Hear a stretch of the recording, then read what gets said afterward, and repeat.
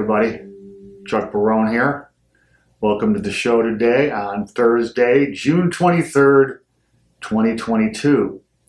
Busy day today, lots of stuff to talk about, lots of stuff to report. Um, I want to say before we get into everything just how grateful I am that you're all here and watching these videos. For the support you guys have given us, it's just been absolutely incredible, overwhelming. I can't tell you how grateful I am, guys. Anyway, let's look into this market today. Um, was a good day in the market. Stocks had a nice day. Um, they started out hot. Futures were good in the morning.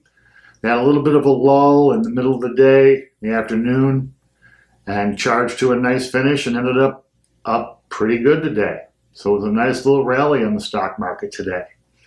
Uh, the bond market, well, you guys have been paying attention to that if you've been listening to my videos and especially Greg's there's just this phenomenon happening where the 10 year bond rate yield is coming down in the face of these massive rate hikes by the Fed. It literally is defying gravity, okay, uh, which as we know is impossible. So there's something funky going on in that market. Uh, metals today had a very quiet day, flat day, flat to down just a little bit. Uh, the dollar was relatively unchanged, up just a few bips. The dollar index, the dollar is holding its own right now, and I think the dollar is going to stay strong in the face of these rate increases. Um, Bitcoin bounced up nicely from its. I think the support line is around 20,000, as I've been saying, and it bounced up nicely from there. So it's holding that support line very well. Um, I would like to see it move up even a little bit higher. If it's going to rally, I'd like to see it continue the rally and not keep. It looks like it's kind of in the trough right now between 20 and 21,000. It's kind of been bouncing, bouncing, bouncing for the past week or so. I'd like to see it break out one way or the other, and we'll have a little bit better of an indication of uh, where it's going to go in the near term. Um, so the markets today were good for people. I think that uh, it was a satisfying day, and it was a day that you can afford to look at your portfolio and not go, oh my God, another horrible day. Um, things turned out okay today. Um, stuff that's notable that you guys should know about. Uh, Chairman Powell had his redo today. He got to testify in the House rather than the Senate. And it was pretty much the same old, same old, guys. I mean, these these shows are more bread and circus, so this would be the circus part of it. Um, the, the, politicians get to do their posturing and their little speechifying to try to, you know, drum up their donations or whatever their deal is, impress their constituents or potential voters coming up in the midterms. And Powell, of course, is like the boxer or the fighter that's getting stuff thrown at him from 100 angles and he's bobbing and weaving. Um, some notable stuff coming out of the testimony about, you know, the, the Congress critters trying to pin him down uh, one way or the other. I'm trying to get him to admit that rate hikes are going to cause a recession. And he was saying that this is a pretty much a quote uh, that he, the Fed is not trying to invoke a recession to bring down demand, that they don't have to have a recession to achieve their aims, which we all know is a bunch of hooey. But they did get him to admit that these rate hikes and future rate hikes may lead to a recession. So they did kind of finally get him to admit that. I like the phrasing of may, because as you guys who've been watching these videos over the past week know, um, I believe we're already in a recession and the GDP numbers coming out at the end of this quarter are going to confirm that for us. Um, he also went on to say, and this was the one that really struck me, was that the Fed, with their rate hikes and the tools at their disposal, can't really do anything about the prices of food and energy. So the Fed is going to be no help at the supermarket, and they're going to be no help at the gas pump. I don't know. What good are they? If, if they can't tend to some simple stuff, how are they going to deal with all this super complex stuff? I mean, it's just, I thought that's what, what their job was, is to keep the dollar stable.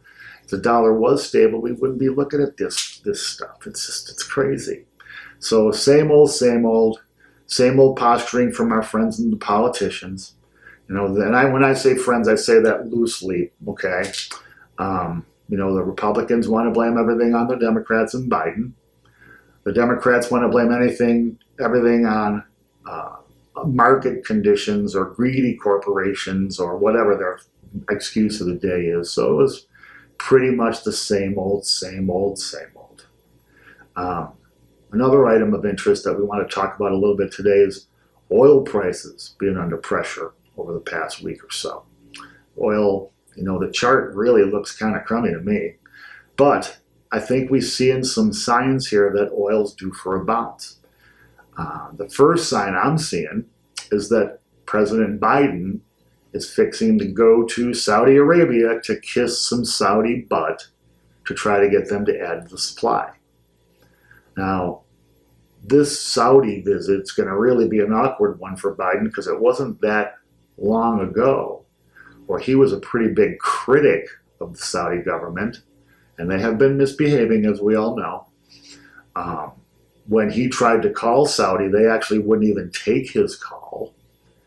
And now he's going to go over there to do what he's got to try to do to get them to increase supply. I think that I would not be surprised if the Saudis receive Biden, treat him respectfully, and respectfully decline his request. I think he might come out of there empty handed. Pretty hard to say no to the President of the United States, but you know, how many people won't take his call either? So it'll be interesting to see where that goes. Uh, the second thing is, I was listening to the AAA report, and AAA reporting that they expect 42 million people to take road trips this summer season. They're predicting a record amount of people on the road this summer. So I think that this whole idea of demand is going to be dampened. That and it, it and it will be. I mean, people are already doing less, but gasoline's a hard one to run away from. And I really don't believe, and obviously neither does AAA, that people are just not going to take a vacation this year because gas is more expensive. Know, they probably won't be able to do as much eating out or some of the stuff they wanted to do on their vacation, but they're still going to go and they're still going to buy gas. So that's an encouraging sign. I think that demand's going to pick up here. Um, and the third thing, and now this is kind of a weird one, but I've been told, and I've read reports, I have not seen it with my eyes, that they're already changing the gas pumps around the country to accommodate an additional digit on the price per gallon. So they're preparing to be able to price gas over $10. As it stands right now, I guess the way the machines work, there's only that one digit, so they can go up to $9.99.9, but they can't go over $10. I've been told that uh, they're doing that now, or they're preparing a way to do that where they can charge these double digits. So I think that everybody's expecting this oil bounce to come, and I think it's going to come. I think that uh, in the very near future, we're going to be paying more for gas. We haven't really got any relief here in Las Vegas. I paid 569 um, and honestly, I, am just waiting for the next bounce of the price where it goes over $6 per gallon here in Vegas. I don't think that's going to be very long off. Uh, we had the unemployment numbers come out today, and the report was strong. So we still have a strong labor market right now. Uh, jobs are out there, and people are paying more for these jobs. Um, if you want to consider, you know, $12 or $15 an hour paying more.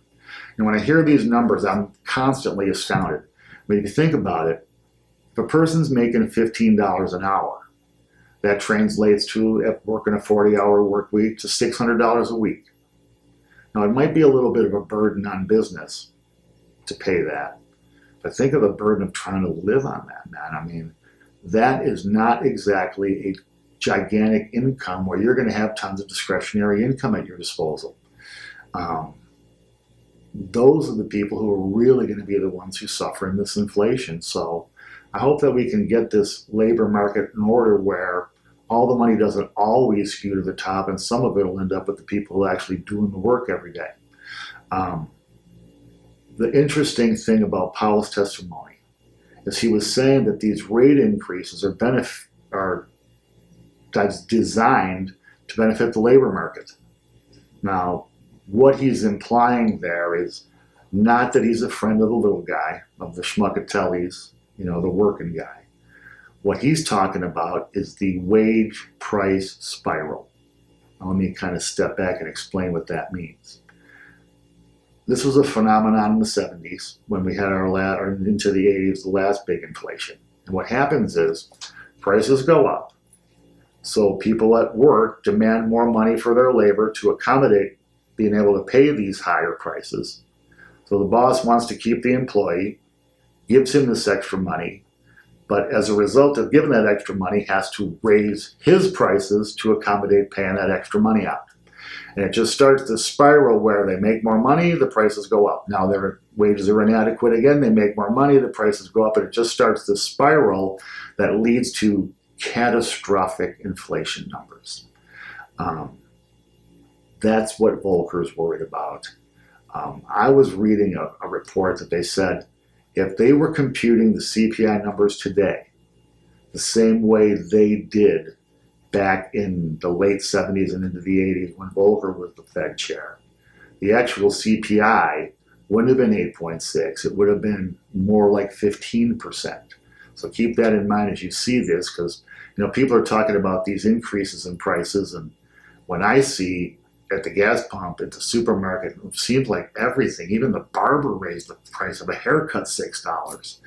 Um, everything's going up more than just these incremental tiny little rate increases. So keep an eye on things and it's going to be a wild ride, guys. It really is. Um, anyway, today's not going to be a real long video. It's pretty much all I got to report on today. Um, if you haven't already, go watch Greg's video. He's got some information about the debt markets and some of the interesting things that are happening there. Um, in closing, I just want to say to everybody, thank you, thank you, thank you for watching these videos, for all of your comments, likes, and shares, and the questions you guys have been asking. It's just amazing. I'm, I, I promise I'm going to get to answering some of these questions on the show. I've been going onto the comment section every day, sometime during the day, to try to answer some questions on that comment in that section. Please continue to ask these questions. It just makes this so much fun, so good for me. So please keep asking those questions. And if you haven't already, subscribe to the station. Um, oh, one last thing before I go.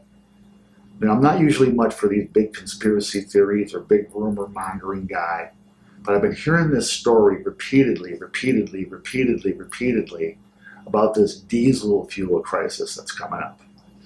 Um, I guess the crux of the story is that uh, there's some additive that they have to have to add to diesel fuel, and they're basically running out of this additive, which means that diesel they're going to run out of diesel fuel which will shut down trucking in this country and, and in essence, shut down the whole country. Everything gets trucked in this country.